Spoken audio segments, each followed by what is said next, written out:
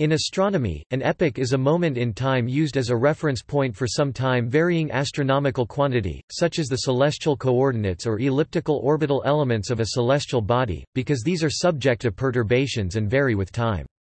These time-varying astronomical quantities might include, for example, the mean longitude or mean anomaly of a body, the node of its orbit relative to a reference plane, the direction of the apogee or aphelion of its orbit, or the size of the major axis of its orbit. The main use of astronomical quantities specified in this way is to calculate other relevant parameters of motion, in order to predict future positions and velocities. The applied tools of the disciplines of celestial mechanics or its subfield orbital mechanics for predicting orbital paths and positions for bodies in motion under the gravitational effects of other bodies can be used to generate an ephemeris, a table of values giving the positions and velocities of astronomical objects in the sky at a given time or times. Astronomical quantities can be specified in any of several ways, for example, as a polynomial function of the time interval, with an epoch as a temporal point of origin this is a common current way of using an epoch. Alternatively, the time-varying astronomical quantity can be expressed as a constant, equal to the measure that it had at the epoch, leaving its variation over time to be specified in some other way—for example, by a table, as was common during the 17th and 18th centuries. The word epoch was often used in a different way in older astronomical literature, e.g. during the 18th century, in connection with astronomical tables. At that time, it was customary to denote as epochs, not the standard date and time of origin for time-varying astronomical quantities, but rather the values at that date and time of those time-varying quantities themselves.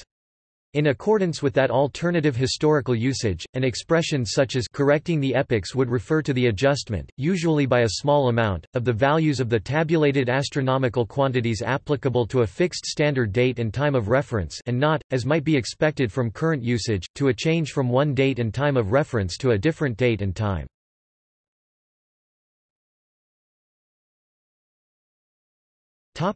Epoch versus equinox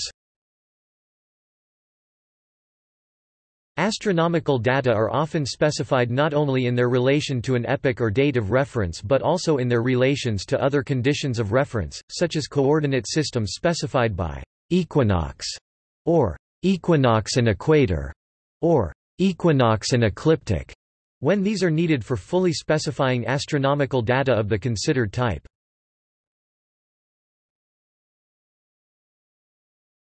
Topic: Date references for coordinate systems When the data are dependent for their values on a particular coordinate system, the date of that coordinate system needs to be specified directly or indirectly. Celestial coordinate systems most commonly used in astronomy are equatorial coordinates and ecliptic coordinates. These are defined relative to the moving vernal equinox position, which itself is determined by the orientations of the Earth's rotation axis and orbit around the Sun. Their orientations vary though slowly, e.g. due to precession, and there is an infinity of such coordinate systems possible.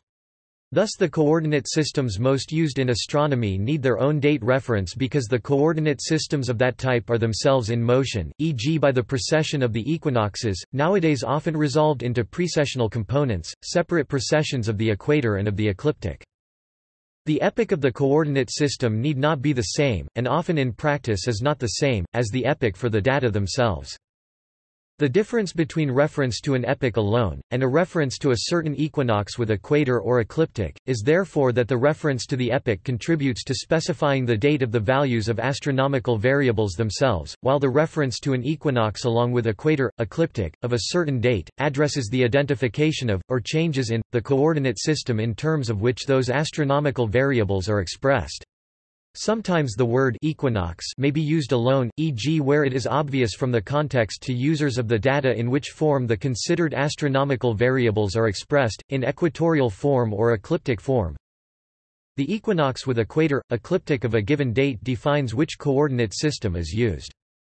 Most standard coordinates in use today refer to 2000 TT i.e. to 12h on the terrestrial time scale on January 1, 200, which occurred about 64 seconds sooner than noon UT1 on the same date see delta t. Before about 1984, coordinate systems dated to 1950 or 1900 were commonly used. There is a special meaning of the expression, equinox and ecliptic, equator of date.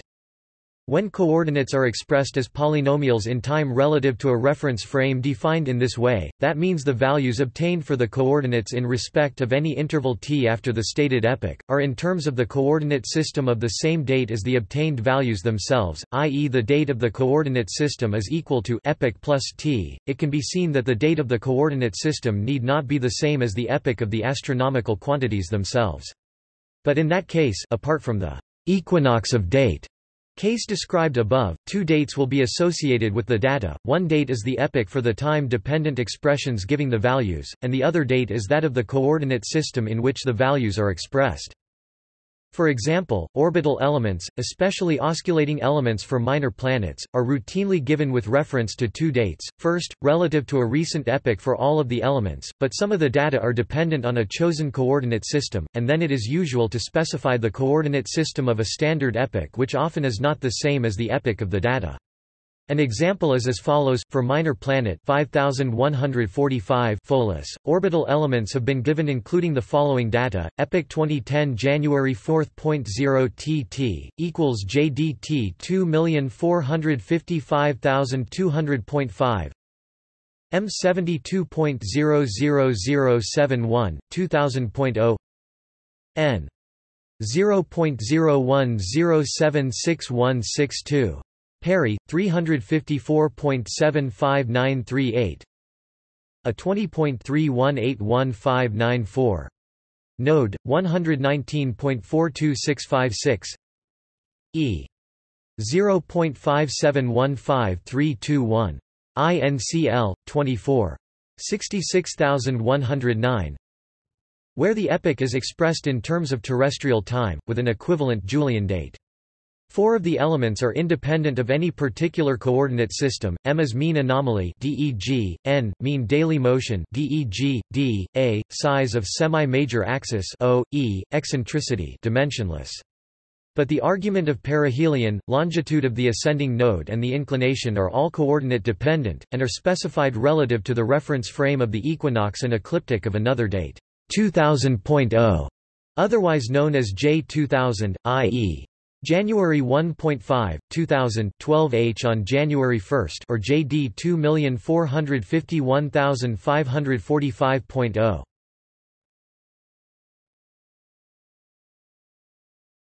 Topic: Epochs and periods of validity. In the particular set of coordinates exampled above, much of the time dependence of the elements has been omitted as unknown or undetermined, for example, the element n allows an approximate time dependence of the element m to be calculated, but the other elements and n itself are treated as constant, which represents a temporary approximation see osculating elements. Thus a particular coordinate system equinox and equator, ecliptic of a particular date, such as J 2000.0 could be used forever, but a set of osculating elements for a particular epoch may only be approximately valid for a rather limited time, because osculating elements such as those exampled above do not show the effect of future perturbations which will change the values of the elements. Nevertheless, the period of validity is a different matter in principle and not the result of the use of an epoch to express the data. In other cases, e.g. the case of a complete analytical theory of the motion of some astronomical body, all of the elements will usually be given in the form of polynomials in interval of time from the epoch, and they will also be accompanied by trigonometrical terms of periodical perturbations specified appropriately. In that case, their period of validity may stretch over several centuries or even millennia on either side of the stated epoch. Some data and some epochs have a long period of use for other reasons. For example, the boundaries of the IAU constellations are specified relative to an equinox from near the beginning of the year 1875. This is a matter of convention, but the convention is defined in terms of the equator and ecliptic as they were in 1875. To find out in which constellation a particular comet stands today, the current position of that comet must be expressed in the coordinate system of 1875 equinox, equator of 1875. Thus that coordinate system can still be used today, even though most comet predictions made originally for 1875 epoch equals 1875 would no longer, because of the lack of information about their time dependence and perturbations, be useful today. equals Topic: Changing the standard equinox and epoch. Equals.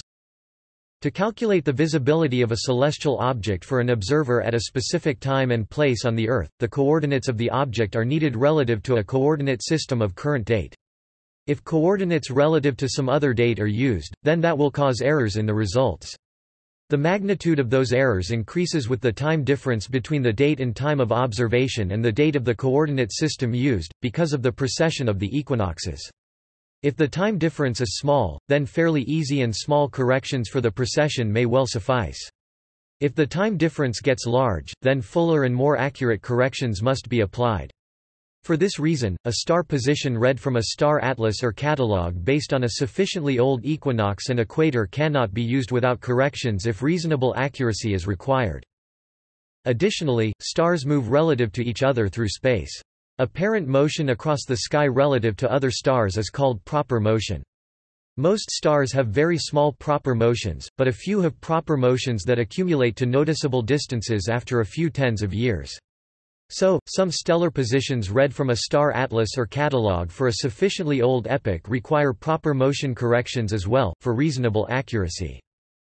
Due to precession and proper motion, star data become less useful as the age of the observations and their epoch, and the equinox and equator to which they are referred, get older. After a while, it is easier or better to switch to newer data, generally referred to a newer epoch and equinox, equator, than to keep applying corrections to the older data.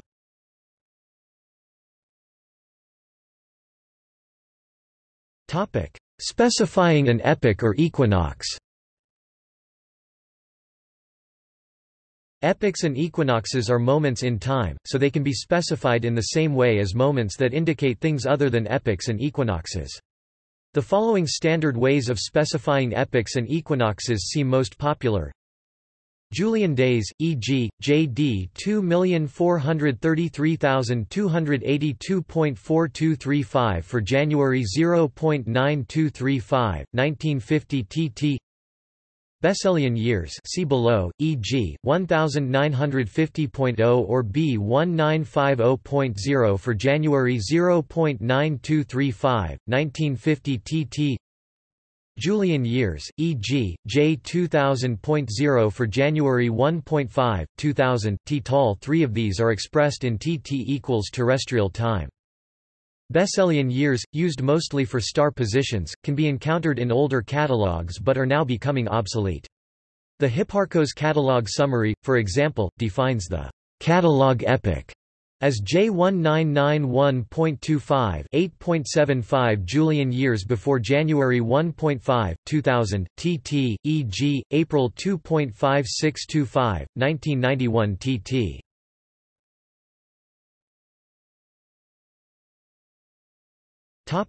Besselian years A Besselian year is named after the German mathematician and astronomer Friedrich Bessel (1784–1846). Meeus defines the beginning of a Besselian year to be the moment at which the mean longitude of the Sun, including the effect of aberration and measured from the mean equinox of the date, is exactly 280 degrees. This moment falls near the beginning of the corresponding Gregorian year. The definition depended on a particular theory of the orbit of the Earth around the Sun, that of Newcomb 1895, which is now obsolete. For that reason among others, the use of Besselian years has also become or is becoming obsolete. Lieske says that a Besselian epoch can be calculated from the Julian date according to B equals 1900.0 plus Julian date minus 2,415,020.31352, 365.242198781 This relationship is included in the SOFA software library. Lieske's definition is not exactly consistent with the earlier definition in terms of the mean longitude of the Sun when using Besselian years, specify which definition is being used. To distinguish between calendar years and Besselian years, it became customary to add point zero to the Besselian years. Since the switch to Julian years in the mid-1980s, it has become customary to prefix B to Besselian years. So, 1950 is the calendar year 1950, and 1950.0 equals B 1950.0 is the beginning of Besselian year 1950. The IAU constellation boundaries are defined in the equatorial coordinate system relative to the equinox of B 1875.0. The Henry Draper Catalogue uses the equinox B 1900.0. The classical star atlas Tabulae Caelestes used B 1925.0 as its equinox, according to Meeus, and also according to the formula given above B 1900. 0. Topic. JDE 2415020.3135 1900 January 0.8135 tt B 1950 0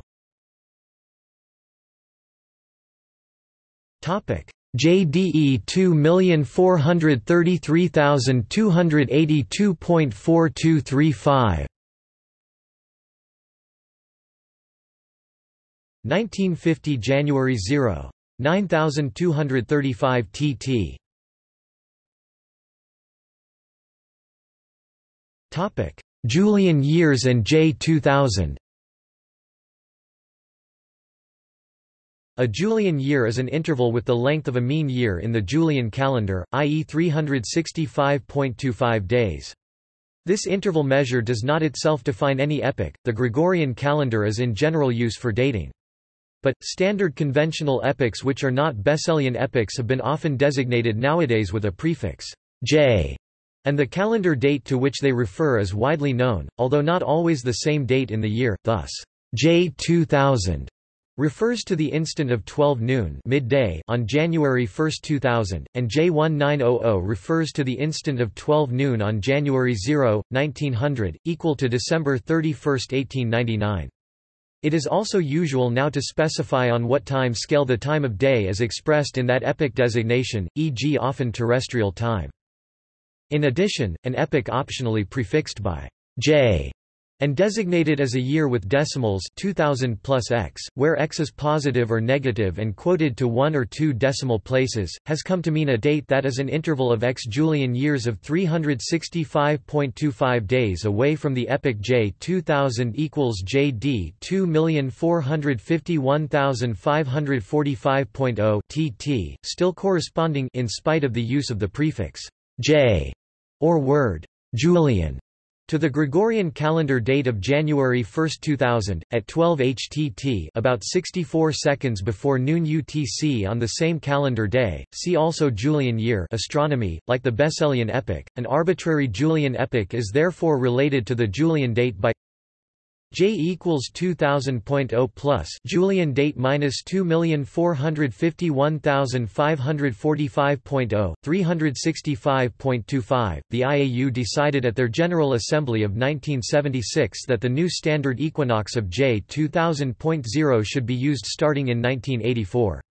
Before that, the equinox of B1950.0 seems to have been the standard. Different astronomers or groups of astronomers used to define individually, but today standard epochs are generally defined by international agreement through the IAU, so astronomers worldwide can collaborate more effectively. It is inefficient and error-prone if data or observations of one group have to be translated in non-standard ways so that other groups could compare the data with information from other sources. An example of how this works, if a star's position is measured by someone today, he, she then uses a standard transformation to obtain the position expressed in terms of the standard reference frame of J2000, and it is often then this J2000 position which is shared with others. On the other hand, there has also been an astronomical tradition of retaining observations in just the form in which they were made, so that others can later correct the reductions to standard if that proves desirable, as has sometimes occurred. The currently used standard epoch, J2000, is defined by international agreement to be equivalent to the Gregorian date January 1, 2000, at 12 o'clock TT terrestrial time. The Julian date 2451545.0 TT terrestrial time. January 1, 2000, 11 hours 59 minutes and 27 seconds. 816 TAI International Atomic Time. January 1, 2000, 11 hours 58 minutes and 55 seconds. 816 UTC Coordinated Universal Time.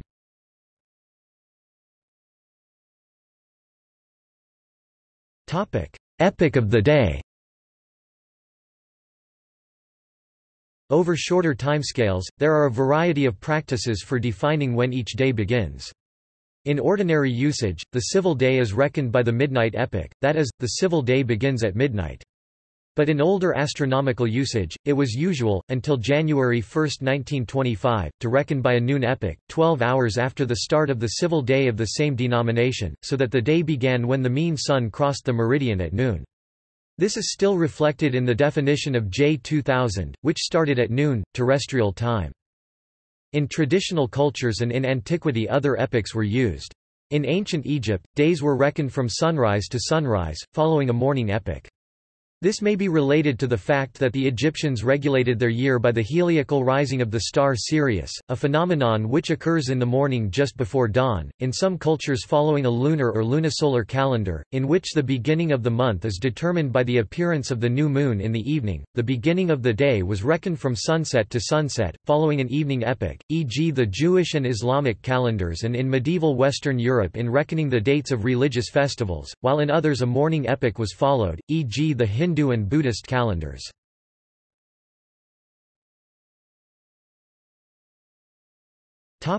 See also